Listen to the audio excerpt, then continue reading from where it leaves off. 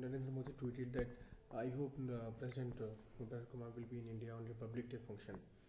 What's your take on this? What do you think? How it can impact something? I don't think it'll have a major impact. Uh, number one, visit is this short, unless um, ambassadors, people from the State Department, and others stay back for a week or 10 days. Only then will something happen. Otherwise, it's just atmospherics And also, this is a lame duck government uh, where the president is in a minority in both the Senate and the House of Representatives.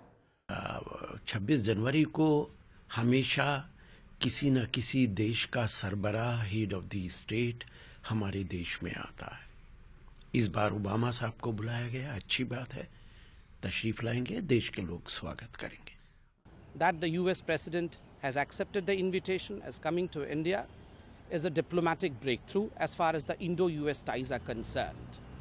India and America are the two most vibrant democracies of the world. Under such a scenario, when they come together to celebrate democracy, it is something which sends strong message not only in India but across the globe. Careful.